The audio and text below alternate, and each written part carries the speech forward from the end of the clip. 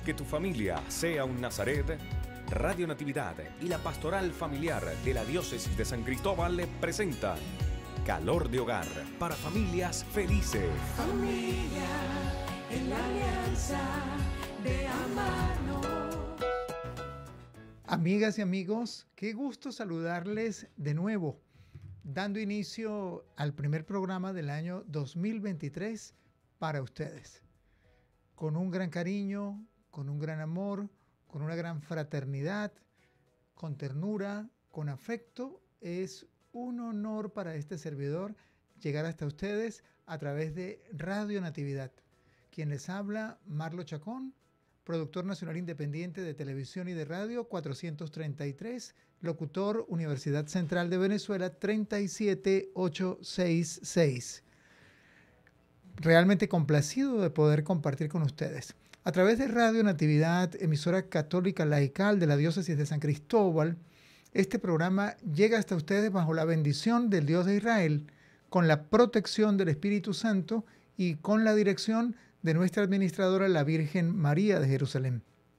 Qué bueno, qué bueno saber que tenemos ese trío de, de que guía y conduce todos nuestros programas, que nuestros programas no son una producción estrictamente y solamente humana, científico, técnica, tecnológica, profesional, sino que también este es un producto espiritual, un producto de la oración de la Iglesia Católica de esta diócesis de San Cristóbal y que llega hasta ustedes como un mensaje para elevar la fe, elevar la esperanza, elevar el amor.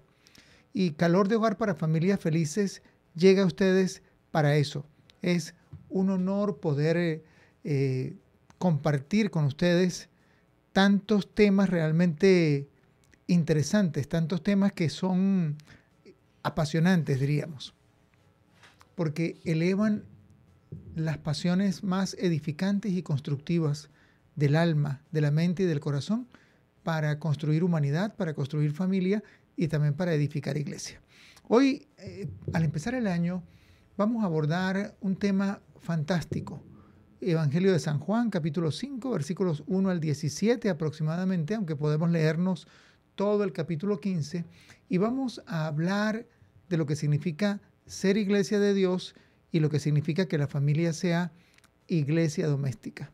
Somos un solo cuerpo, somos miembros de un solo cuerpo, con diversas funciones, con diversos ministerios, con diversos carismas, con diversos talentos, con diversidad de nacionalidades, eh, niveles de educación, niveles de cultura, niveles socioeconómicos.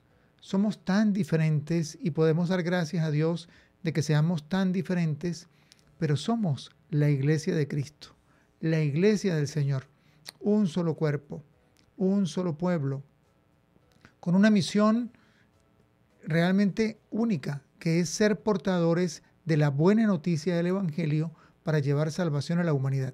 Si la iglesia entera es buena noticia, en pequeño, la familia entera tiene que ser buena noticia. Papá, mamá, hijos, padre, madre, hermanos y por extensión abuelos, tíos, primos, primas, pues todos somos una familia más grande, pero el núcleo familiar privado, padre, madre, hijos, es importantísimo conservarlo como portador del Evangelio, portador de buenas noticias, sin distingo alguno, tal cual como es la Iglesia Universal, es la familia, sin distingo alguno.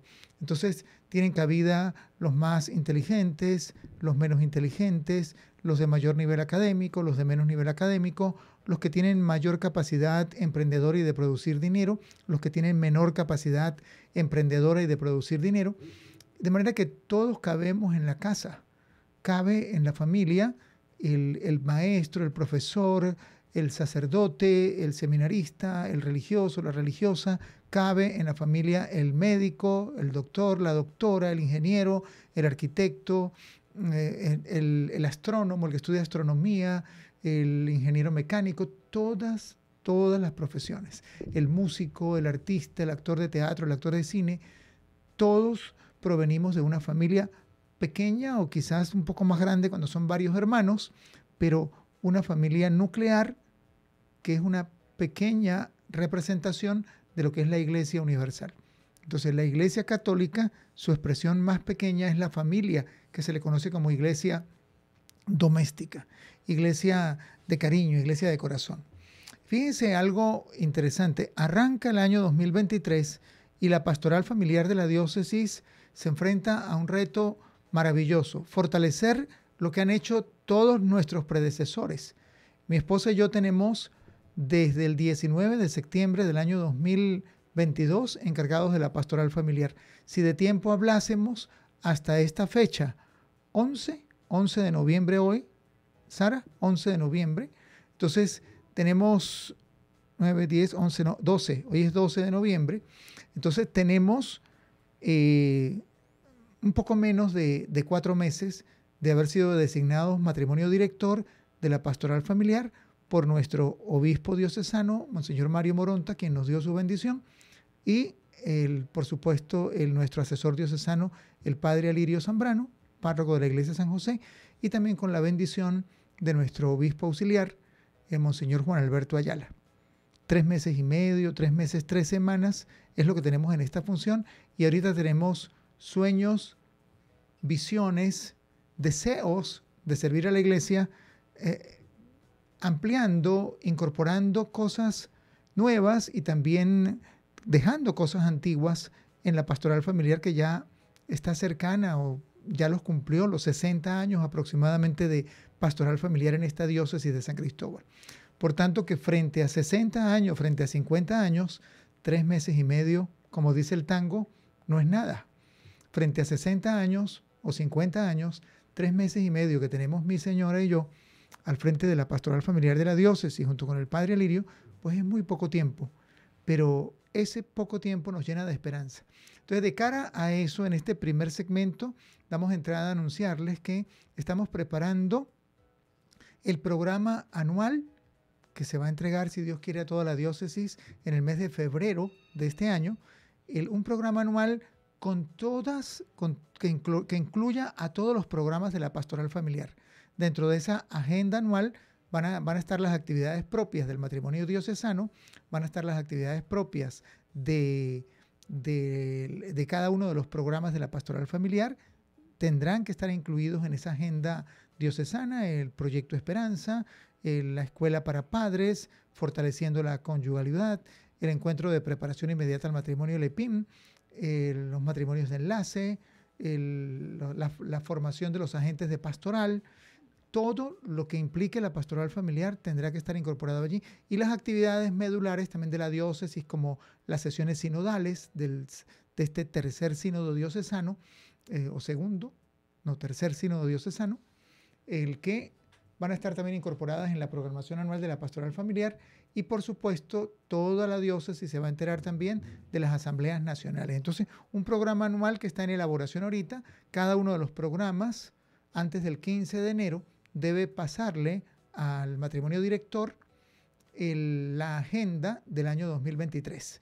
Entonces ahí tenemos que Fortaleciendo la Conyugalidad pasará su programa, eh, EPIN pasará su programa, Encuentro de Preparación Inmediata al Matrimonio, el Proyecto Esperanza, y cada uno de los programas pasará eh, la, campaña Abrazo en Familia, la campaña por la vida, y tendremos una programación también propia de, de todo el Secretariado Diocesano, que serían dos, tres actividades, cuatro a lo largo del año, que son importantísimas para la diócesis y para las familias de la diócesis.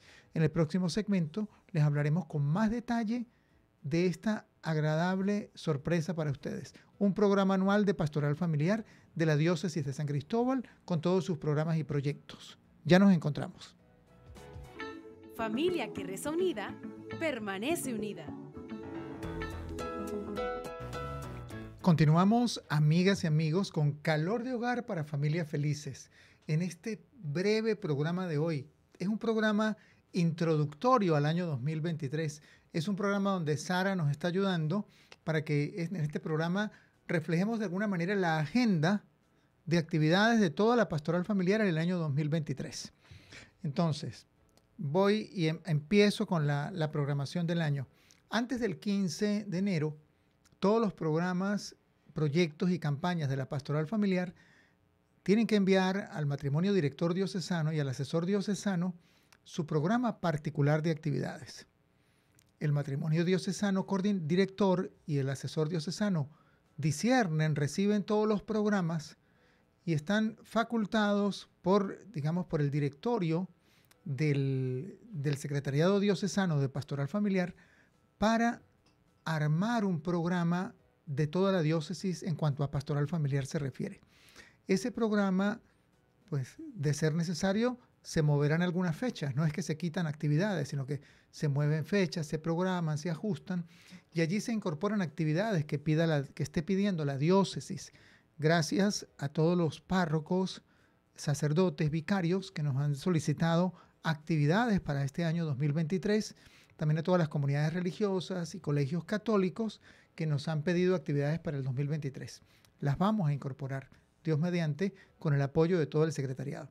Entonces, antes del 15 se recibe eso. Luego el, el 4, el día, perdón, antes de llegar al 4 de febrero de este año 2023, del 20 al 22, mi esposa y yo debemos estar en Maracaibo, Estado Zulia, y les pedimos oración y también al que pueda, pues que nos ayude porque hay que sufragar algunos gastos importantes de esa ida a Maracaibo.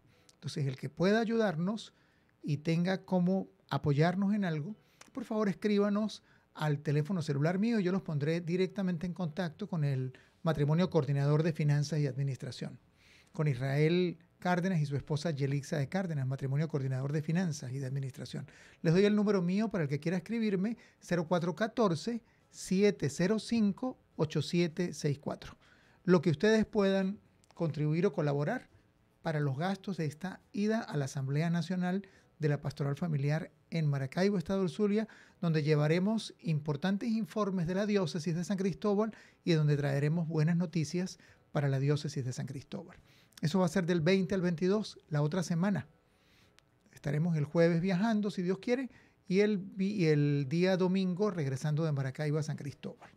Así que oren mucho por nosotros, recen por nosotros y pidan por esa Asamblea Nacional de Pastoral Familiar para que sea fructífera.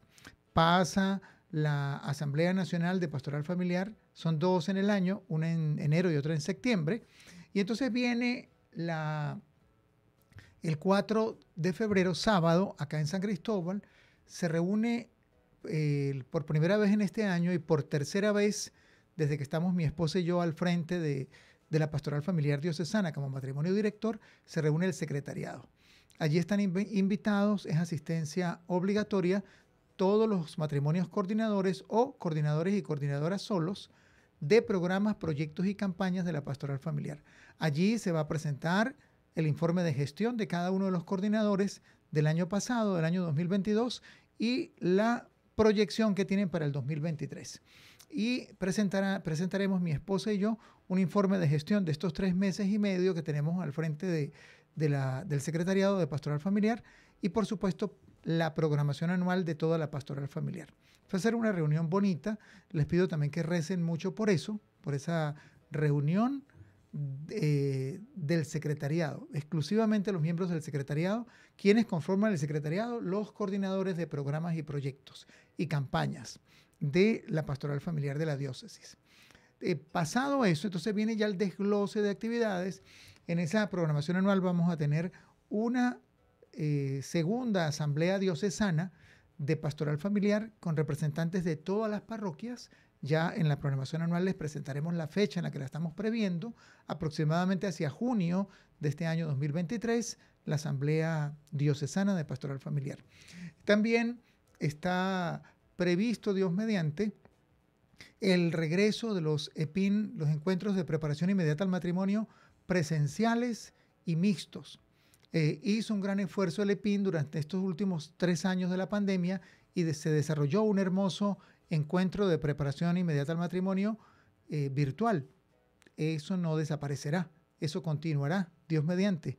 Pero en, esta, en este fortalecimiento, en esta reprogramación de actividades, vamos a incorporar con la ayuda de Dios y del Espíritu Santo y del equipo del EPIN y de todo el secretariado, el, de nuevamente los encuentros de preparación inmediata al matrimonio presenciales y también los EPIN mixtos, que en algún momento será en simultáneo, EPIN presencial con personas que lo sigan de manera virtual. Maravilloso, ¿verdad? Son, son noticias maravillosas que traen frescura, que traen fortalecimiento, que traen eh, esperanza también a la iglesia. Eh, agradezco de nuevo a los párrocos y vicarios que nos han pedido el EPIN presencial, que nos han pedido formación de, facilitadores para el EPIN también hacia el interior del Estado, de la diócesis, ya no solamente formar personas de San Cristóbal para dictar el EPIN, sino que podamos formar eh, servidores de, del interior del Estado también. Hay algunos, pero son muy poquitos y realmente este es un Estado con más de un millón de habitantes. Entonces, bueno, gracias señores párrocos, señores vicarios, eh, matrimonios de enlace y personas que se han comunicado con mi esposa y conmigo para solicitar ese fortalecimiento del EPIN. Muchas gracias. Dios les pague. Reconociendo el mérito de todo el trabajo hecho hasta hoy por el EPIN, Dios les bendiga y Dios les pague también. Bien, y, y así empezará la escuela de formación de agentes de fortaleciendo la conyugalidad, este, empezará la, la eh, cada coordinador de programa tendrá que coordinar adecuadamente su programación y las actividades que se anuncien en el programa de la Pastoral Familiar Radial, que es este, serán solamente las que estén en el programa o las que previamente los coordinadores de programa le anuncien al matrimonio director. Eso a fin de facilitar que mm, evitar la improvisación lo que esté programado debe enterarse con tiempo suficiente al matrimonio director para poder anunciarse también en el programa y aquello que no esté en la programación anual no es que no se pueda hacer, sino simplemente que se debe coordinar mejor entre, entre los miembros del secretariado y con apoyo y conocimiento del matrimonio director. Entonces, bueno, esa parte es bonita y lo que yo le pido a Dios es que nos ilumine la mejor forma de hacerlo respetándonos, queriéndonos mucho, sirviéndonos mucho los unos a los otros. Eh, el libro de los Hechos de los Apóstoles hay un momento en que dice, mírenlos cómo se aman, mírenlos cómo se quieren. Eh, así, queriéndonos unos a otros, los servidores de la pastoral familiar podremos dar más y mejores frutos. Dice el Evangelio de San Juan 15, que se los mencionaba hace un momento, permanezcan en mí como yo permanezco en ustedes. Lo mismo que el sarmiento no puede dar fruto por sí mismo si no permanecen en la vid, así tampoco ustedes permanecerán en mí. ¿Esto a qué nos lleva? Que dentro de la programación anual 2023 vamos a tener dos actividades profundas para todos los miembros de la pastoral familiar de la diócesis.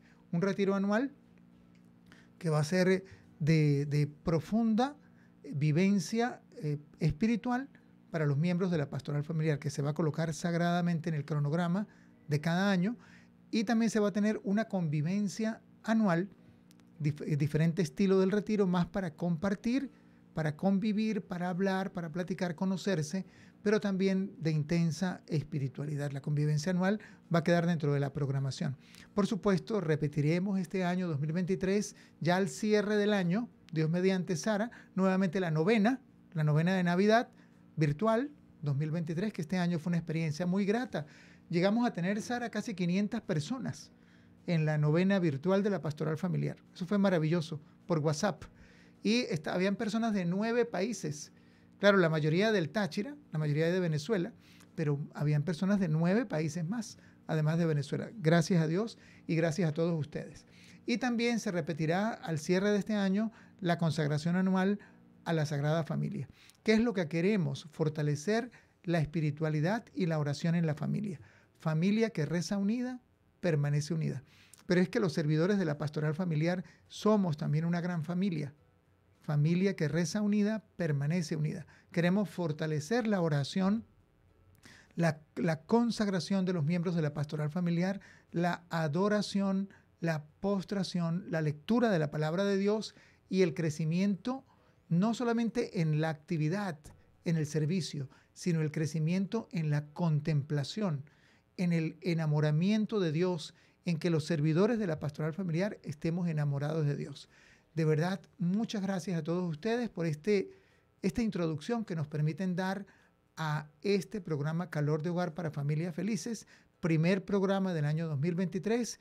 Lo teníamos preparado para que sirviera como de guía de todo el trabajo apostólico de los servidores de la pastoral familiar en el año 2023. Solo estamos marcando una ruta, marcando un camino. Ahora pedimos su oración, su discernimiento, su fortalecimiento y su apoyo. No nos dejemos solos, apoyémonos los unos a los otros. Los quiero mucho. Gracias por su, por su sintonía. Les repito mi teléfono para los que quieran dar algún aporte eh, económico a la pastoral familiar en este momento 0414-705-8764. 0414-705-8764. 8764 y los pongo en contacto con el matrimonio de administración y finanzas. Dios los bendiga, los quiero y feliz año nuevo 2023. Un fuerte abrazo para ustedes. Porque la alegría del amor nace en la familia. Radio Natividad y la Pastoral Familiar de la Diócesis de San Cristóbal presentaron Calor de Hogar. Te esperamos el próximo jueves desde las 5 de la tarde por Radio Natividad. Familia en la alianza